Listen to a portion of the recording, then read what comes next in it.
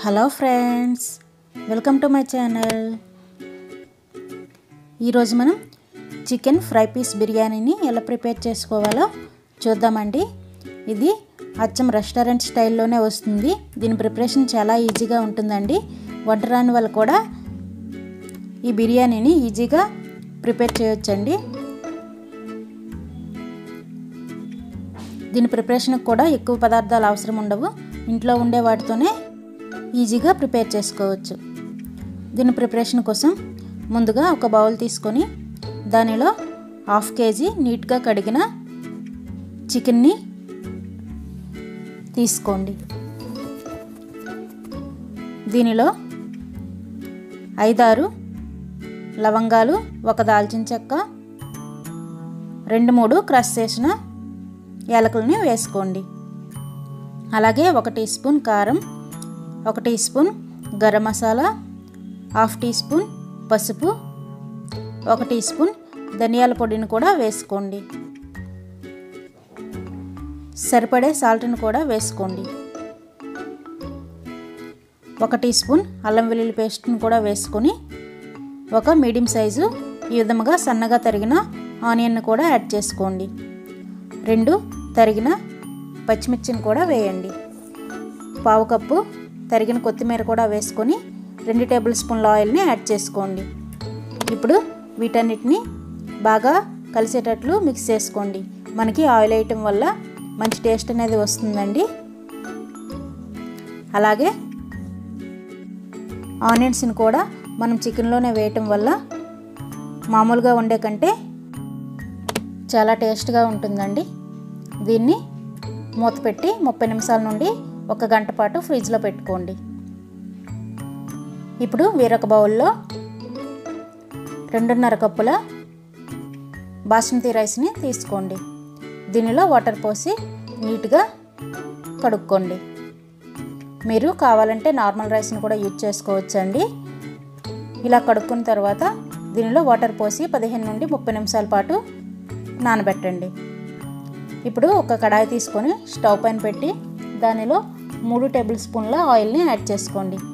Oil heat అయ్యాక దానిలో ఐదు నుండి పది జీడిపప్పుని వేసుకొని బ్రౌన్ కలర్ వచ్చేంత వరకు ఫ్రై చేసుకోండి. ఇప్పుడు దీనిలో మనం ముందుగా మ్యారినేట్ చేసి పెట్టుకున్న చికెన్ని యాడ్ చేసుకోండి. స్టవ్ని మీడియం ఫ్లేమ్ పైన పెట్టుకొని చికెన్ అంతా బాగా కలిసేటట్లు కలుపుకోండి. ఇప్పుడు దీనికి మూత పెట్టి పది నిమిషాల పాటు కుక్ చేసుకోండి. పది నిమిషాల తర్వాత ఇలా వాటర్ దిగుతుందండి. మీకు ఏమైనా ఇంకా మసాలా కారం ఇలాంటివి కావాలంటే దీంట్లో యాడ్ చేసుకోవచ్చండి. ఇదే స్టేజ్లో యాడ్ చేసుకోండి. నేనైతే ఏమీ యాడ్ చేయట్లేదు. ఇప్పుడు దీనికి మూత పెట్టి ఇంకో పది నిమిషాల పాటు ఇలా దగ్గర అయ్యేంత వరకు కుక్ చేయండి. మీకు కుక్ అవ్వనట్లయితే కొంచెం వాటర్ని యాడ్ చేసుకొని ఇలా దగ్గరగా అయ్యేంత వరకు కుక్ చేసుకోండి. ఇది ఆల్మోస్ట్ కుక్ అయినట్లేనండి. ఇప్పుడు దీనిలో కొంచెం కరివేపాకు అలాగే కొత్తిమీర వేసుకొని రెండు టేబుల్ స్పూన్ల రెడీమేడ్ చికెన్ మసాలాను కూడా యాడ్ చేసుకోండి. చికెన్ మసాలా యాడ్ చేయడం వల్ల మంచి టేస్ట్ అనేది వస్తుందండి. ఇప్పుడు దీన్ని మొత్తం కలిసేటట్లు బాగా కలుపుకోండి. ఇలా కలుపుకొని స్టవ్ని మిడిల్ ఫ్లేమ్ పైన పెట్టుకొని చికెన్ అంతా దగ్గరగా అయ్యేంత వరకు కుక్ చేసుకోండి. ఇలా దగ్గరగా అయ్యాక స్టవ్ ఆఫ్ చేసుకొని పక్కన పెట్టుకోండి. ఇప్పుడు బిర్యానీని ప్రిపేర్ చేసుకుందామండి. ఒక కడాయి తీసుకొని దానిలో రెండు టీ స్పూన్ల ఆయిల్ని యాడ్ చేసుకోండి. అలాగే ఒక టీ స్పూన్ నెయ్యిని కూడా యాడ్ చేసుకోండి. నెయ్యి మెల్ట్ అయ్యాక దీనిలో రెండు దాల్చిన చెక్క రెండు అనాస్ పువ్వు నాలుగైదు లవంగాలు నాలుగు యాలకులను కూడా యాడ్ చేసుకొని ఒకసారి ఫ్రై చేసుకొని రెండు బిర్యానీ ఆకులను కూడా వేసుకోండి. ఇప్పుడు దీనిలో ఒక టీ స్పూన్ సాజీరా లేదా జీరాని వేసుకోండి. ఇది కొంచెం ఫ్రై అయ్యాక దీనిలో ఒక మీడియం సైజ్ సన్నగా తరిగిన ఆనియన్ని యాడ్ చేసుకోండి. ఆనియన్ యాడ్ చేసుకున్నాక ఒకసారి కలుపుకొని నాలుగైదు పచ్చిమిర్చిని కూడా వేసుకోండి. మీకు ఎక్కువ కారం కావాలంటే ఇంకో రెండు ఎక్స్ట్రా వేసుకోండి. ఈ ఆనియన్స్ అన్నీ బ్రౌన్ కలర్ వచ్చేంత వరకు ఫ్రై చేసుకోండి. ఇప్పుడు దీనిలో ఒక టీ స్పూన్ అల్లం వెల్లుల్లి పేస్ట్ని కూడా యాడ్ చేసుకోండి. అల్లం వెల్లుల్లి పేస్ట్ పచ్చివాసన పోయేంత వరకు ఫ్రై చేసుకోండి. ఇప్పుడు దీనిలో మనం ముందుగా నానబెట్టి పెట్టుకున్న రైస్ని యాడ్ చేసుకోండి. అలాగే దీనిలో పావు కప్పు సన్నగా తరిగిన కొత్తిమీర సన్నగా తరిగిన పుదీనాను కూడా వేసుకోండి. అలాగే ఒక టీ స్పూన్ ఫ్రై చేసుకున్న ఆనియన్స్ని కూడా వేసుకోండి. మీ దగ్గర ఆనియన్స్ లేకుంటే స్కిప్ చేయొచ్చండి.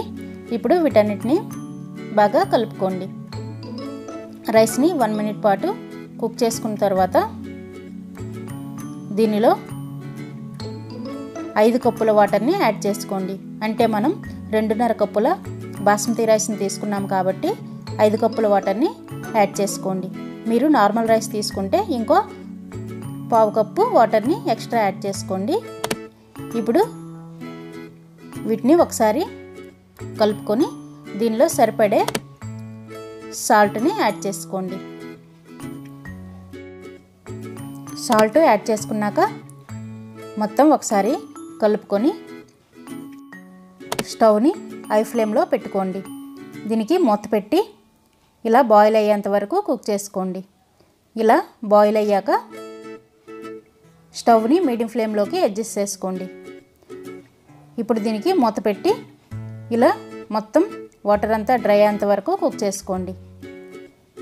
ఇది కుక్ అవ్వడానికి టెన్ టు ఫిఫ్టీన్ మినిట్స్ పడుతుందండి. ఇంకో ఏ విధమైన వాటర్ కొంచెం ఉన్నట్లయితే ఇంకో టూ మినిట్స్ పాటు లో ఫ్లేమ్లో కుక్ చేసుకుంటే మొత్తం వాటర్ అంతా డ్రై అయ్యి చాలా నీట్గా రైస్ అనేది పొడిపొడిగా వస్తుందండి. చూసారా? పొడిపొడిగా అస్సలు వాటర్ లేకుండా ఎంత నీట్గా కుక్ అయిందో ఇప్పుడు దీన్ని ఈవెన్గా ఈ విధంగా స్ప్రెడ్ చేయండి. దీనిలో కొంచెం ఫుడ్ కలర్ కానీ లేదా సాఫ్రాన్ వాటర్ కానీ యాడ్ చేసుకోండి. అలాగే కొంచెం ఫ్రై ఆనియన్స్ని వేసుకోండి. మీకు వద్దనుకుంటే ఈ స్టెప్ని స్కిప్ చేయొచ్చండి.